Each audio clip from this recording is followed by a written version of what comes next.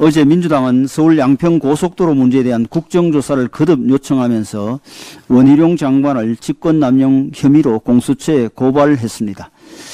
지금까지 실시된 국정조사는 국민적 요구와 실정법 위반이라는 최소한의 조건이 갖추어졌기 때문에 여야가 합의에 이를 수 있었습니다. 그런데 서울 양평 고속도로 문제는 민주당만 국정농단, 권력형 비리라고 목소리를 높이지 정작 국민들은 SOC 사업이 소모적으로 정쟁화되는 상황에 대해 분노 게이지가 높아지고 있을 뿐입니다. 그러나 민주당은 국정조사의 명분을 셀프 생산하기 위해 공수처 고발을 감행했는데 원희룡 장관이 법을 어겼다고 볼 만한 여지 자체가 없습니다. 원희룡 장관이 타당성 조사 용역 업체의 보고 날짜까지 밝히며 노선 변경 검토에 관여한 사실이 없음을 상세히 설명했음에도 침소봉대하여 직권 남용으로 몰고 가는 것은 선을 넘는 엄의 공작이 아닐 수 없습니다. 또한 민주당이 양평 군민과 전문 업체의 의견조차 무시하는 것은 변명의 여지 없이 잘못된 태도입니다. 어제 양평군 양서면 이장 분께서 언론 인터뷰에서 마을에서 원안을 찬성하는 사람 5%라고 말했습니다. 마을에 고속도로가 들어오면 교량 건설, 고속도로 소음 등으로 사람이 살기 어려워진다는 것이 그 이유였습니다. 이처럼 원안 종점에 거주하는 양서면 주민들조차 원안을 거부하는데 민주당이 주민의 뜻을 거슬러 원안을 고집하는 것은 미니 수렴이라는 민주주의의 기본조차 망각한 태도입니다.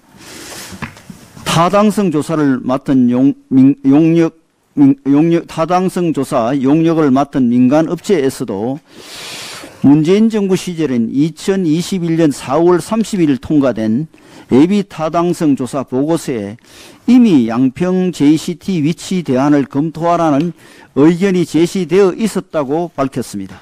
다시 말해 어떤 압력이 있었기는 커녕 오히려 예타 보고서가 먼저 종점 위치 변경을 제안했기에 타당성 조사 때 대안을 검토한 것이 당연했다는 얘기입니다.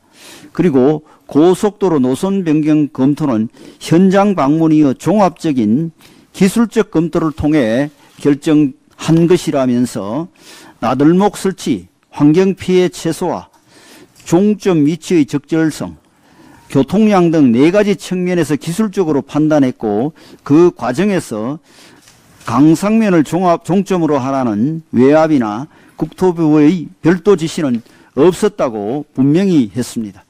민주당이 계속 의혹을 제기하려면 이런 객관적 합리적 판단에 어떤 문제가 있는지 과학적 기술적으로 반박할 수 있어야 할 것입니다.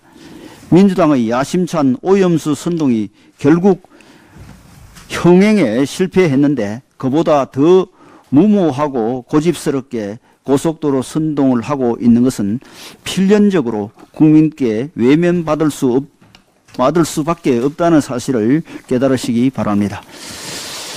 어제 오전 7시를 기해 총파업에 들어간 민주노총 산하 보건의료노조가 오늘도 파업을 계속하고 있습니다. 양산 부산대병원이 파업 전날까지 900개가 넘는 병상의 환자들을 전부 퇴원 또는 전원 조치하는 등 파업에 돌입, 하기도 전에 시작된 의료 공백은 시간이 지나면서 계속 커지고 있습니다.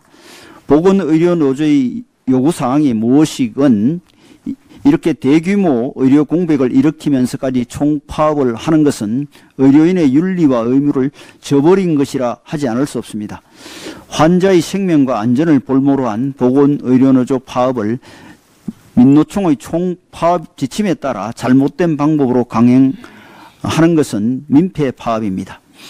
현재의 열악한 의료 환경을 고려할 때 보건의료 노조의 요구사항 중에는 정당한 것들도 있습니다. 하지만 대부분의 요구는 적지 않은 예산과 시간이 필요하고 법 개정이 필요한 것도 있습니다.